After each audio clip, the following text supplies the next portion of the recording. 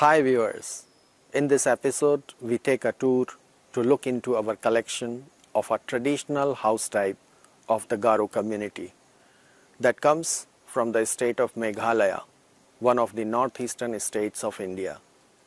Meghalaya is literally translated as the land with the abode of clouds. This hilly region is inhabited by three major tribes, the Garo, the Khasi and the Jayantia, who have a matrilineal form of society. The Garos are one of the three native tribes of Meghalaya. They are also sporadically distributed in Assam, Tripura, Nagaland and some areas of Bangladesh. The name Garo has been given to them by the neighboring people, a very well-known tribe for their matrilineal tradition, in which the family members take their clan titles from their mother. Traditionally, the youngest daughter, Nokmechik, inherits the property of the mother. Sons leave the parents' house at puberty and are trained in the village dormitory, Nokpante. After getting married, the man lives in his wife's house. Garos are now the second largest tribe in the state and comprised one third of the local population. When we look at the habitat and settlement pattern of the Garo villages, one may find sparsely arranged bamboo-dominated house types raised on stilts of bamboo and wooden poles having nicely trimmed thatch structures along the ridges of hill slopes. Traditionally, three types of houses could be seen among the Garos, classified on the basis of their livelihood patterns and socio-economic liabilities. These are Nokmong, a common living house, Nokpante, boys' dormitory, and Borang. It may be a field house, a tree house, or a watchtower. Nokmong is a house where every Achik, the family members, stays together. The house has the provision for sleeping, hearth, sanitary arrangement, kitchen, water storage, fermenting wine, a place for cattle shed or stall feeding the cow, pigsty, hand coop, and other enclosures for stacking firewood. This neatly arranged space of the house perhaps is why the Garo matrilineal family appears to be well organized in their domestic activities. The house is typically erected through a stilted bamboo structure and local wood along the hill slope to obtain a plain platform above the ground. The top of this bamboo platform is adequately covered with matted bamboo floor and used as a living space. There are three extensions on the floor plan, two along the sides while one at the rear end.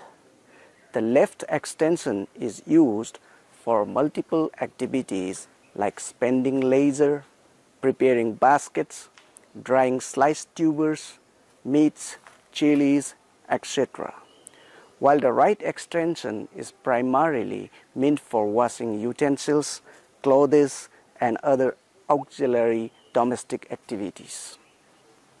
The front space of the house touches the ground and it occupies a space for domestication of animals.